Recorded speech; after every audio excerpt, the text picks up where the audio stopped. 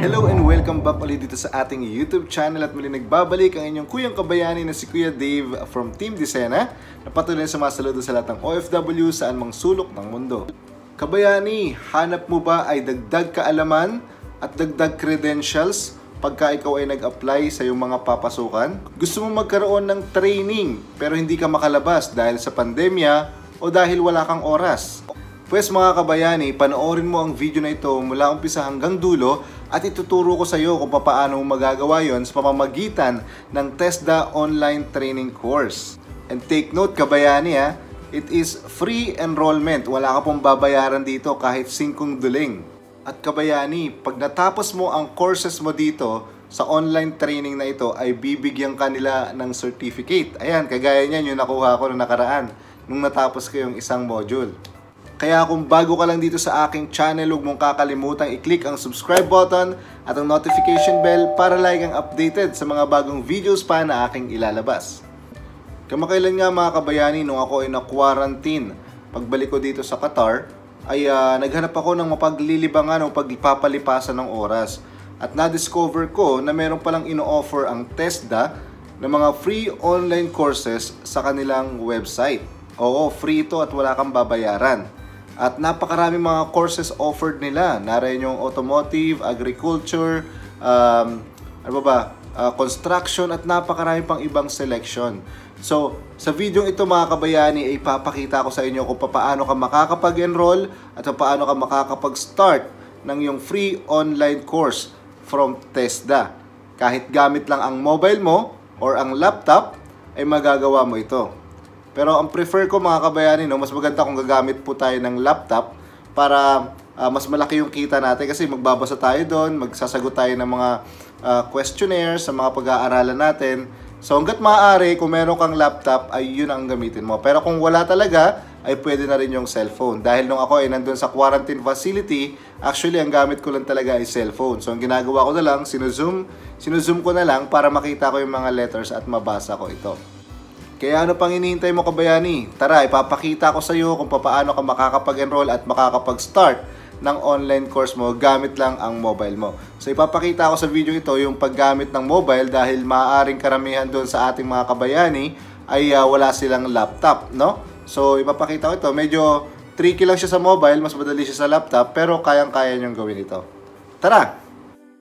So unang-una sa lahat, kailangan nyo munang pumunta sa e-tesda.gov.ph. Pagka nakapunta na kayo dyan sa inyong website, ay makikita nyo ang page na ito from your mobile. So meron dyan create an account, courses, how to, and FAQs or frequently asked question. Basahin nyo na lamang yan, yung about, training online, the TESDA online program. Uh, it's a web-based platform that offers mga ganyang bagay at uh, ayan, Mababasa nyo lahat yan dyan. Okay?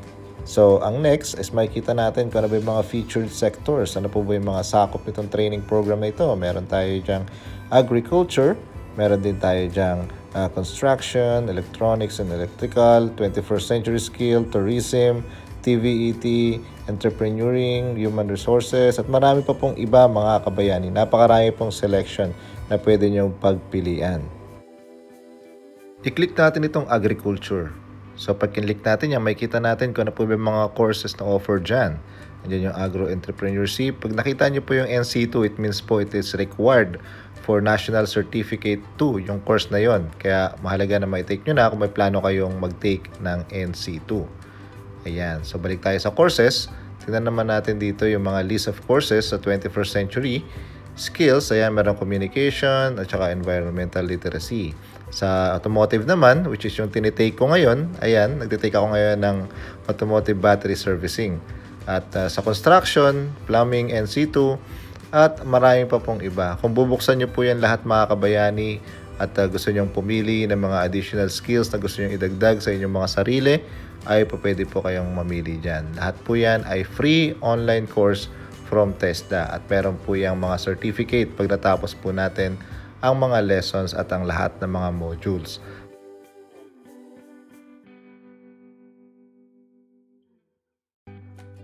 At eto na, maaring marami ang katanungan, paano kami makakapag-start dyan, Kuya Dave? So unang-una, kailangan nyo muna syempreng mag-create ng account. Click nyo lang yon, ilagay nyo yung username na gusto nyo ilagay at maglagay din po tayo ng password. So may uh, sila po ay merong suggested password at ilagay nyo po yung mga details na kailangan dyan. So kung mapapansin nyo po dito sa aking registration, hindi po siya magpo-proceed dahil po yung aking account is registered na. Kaya ang gagawin ko na lamang ay magsa-sign in na lamang po tayo para makapunta po tayo doon sa dashboard kung saan pwede na tayo mag-start mag-take ng online course. So ayan, maglalagin po tayo. At uh, pagka-login natin, makikita po natin ang sunod na page na ito.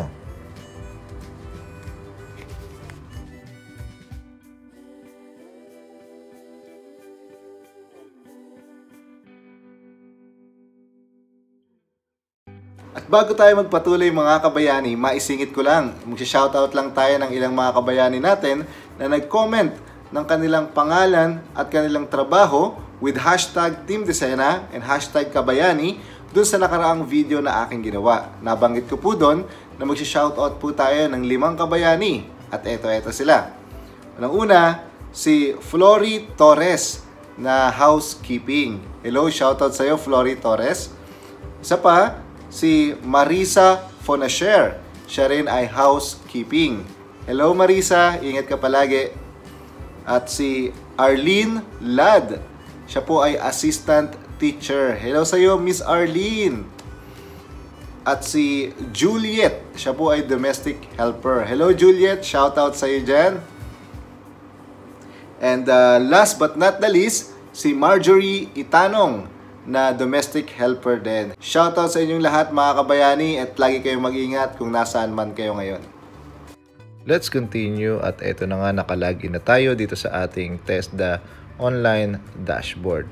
So mapapansin niyo ito yung course na aking natapos na kung saan nakakuha na po ako ng certificate at currently ito yung list ng mga na-take ko na at yung mga tinitake ko pa sa ngayon. So more on automotive po ako dahil nasa automotive field po ako. Gusto ko pong ma-enhance yung aking skill sa automotive. Ayan. Kung bubuksan po natin itong training course na aking natapos na, may kita nyo dyan. Ayan, done, done. Lahat ng mga lesson dyan ay aking natakil na. Yung mga exams ay nasagutan ko na rin po. At sa dulo, may certificate. So, ayan, pwede na tayo mag-start. Pag nakapasok na tayo dito, mamili na kayo ng mga courses na gusto nyong i-take pwede nyo i-take yung agriculture at makita nyo yung mga modules na kailangan nyo tapusin. Kailangan panoorin nyo muna syempre yung video na yon at kailangan tapusin nyo lahat itong module na ito para makakuha kayo ng certificate. Make sure na babasahin yung mabuti ha, wag lang yung click lang ng click para matapos ka agad. No, dahil mamaya pagka tinanong tayo sa pag-a-apply natin ay sabihin bogus yung ating training. At ipapakita ko naman sa inyo ngayon yung certificate na aking nakuha. So ayan, makikita nyo dyan. Ayan yung aking pangalan. At uh, nakalagay dyan sa baba na this is a computer generated and uh, this is valid without, even without signature. So ayan, pwede po siyang gamitin kahit wala po siyang signature. At mababasa nyo rin po dyan sa baba, sa may bandang kaliwa ng certificate, ay nakalagay din po dyan. Kung meron silang confirmation, ay pwede nilang tawagan or mag-email doon sa TESDA hotline. At nalaman na nga natin kung paano tayo makakapag-enroll sa online training course ng TESDA at paano tayo makakakuha ng additional certificate na maaari nating ipakita sa mga papasukan nating mga trabaho. Bago nga pala ang lahat mga kabayani, last week po, for the glory of God, ay namigay po tayo ng konting ayuda sa ating mga kababayan sa Pilipinas na nangangailangan dahil nakuha na po natin yung ating unang YouTube sweldo. Yay! Salamat po sa inyong lahat mga kabayani at gusto ko rin pasalamatan ang aking uh, mga kapatid na nagbigay din ng konting suporta na pinansyal at yung aking mga magulang na sila po yung nagbalot ng mga grocery na ipinamigay natin doon sa Pilipinas. At mga kabayani, hihingi na rin ako ng favor sa inyo. Kung mamarapatin ninyo ay baka pwede nyo namang i-like ang kanilang mga uh, Shopee store at ang kanilang Facebook page dahil sila po ay mga negosyante sa Pilipinas. Ayan, ipa-flash ko po sa screen si uh, Debbie Adele Online Shop, si Caitlin's Cupcakes and Desserts, si Dwayne's Trend Online Shop, at uh, Caitlin's Online Shop as well. So mga kabayani, Uh, kung may time kayo, pwede nyo bang suportahan at i-follow yung kanilang mga Facebook page at kanilang mga Shopee account or Shopee store. Maraming maraming salamat sa inyo mga kabayani. At kung sakaling meron ka mang katanungan sa ating napag-usapan sa videong ito ngayon, ay huwag kang mahihiyang mag-comment dyan sa baba, kabayani. Dahil i-entertain natin yan sa abot ng ating mga makakaya. At kung sakaling nanonood ka pa rin hanggang ngayon sa videong ito, congratulations sa'yo kabayani dahil may chance kang ma-shoutout sa susunod na video na aking gagawin. Oo, tama. Ang kailangan mo lang gawin ay i-comment mo dyan sa baba ang iyong buong pangalan at kung ano yung course na gusto mong i-take dito sa TESDA online course. At uh, pipili ako ng lima, ng limang kabayani natin na maisa-shout out dito sa ating uh, susunod na video. At huwag mo rin kakalimutang isama ang hashtag Team Disena at hashtag Kabayani sa iyong comment. Ano pang hinihintay mo? Comment down na. At muli, narito ang inyong Kuyang Kabayani na si Kuya Dave na lagi nagpapaalala, lagi mag-ingat, magsuot ng face mask at manalangin sa Diyos. Hanggang sa muli, paalam, God bless!